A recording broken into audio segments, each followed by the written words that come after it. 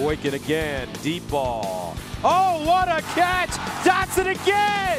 Up the sideline! No, he didn't! 84 yards!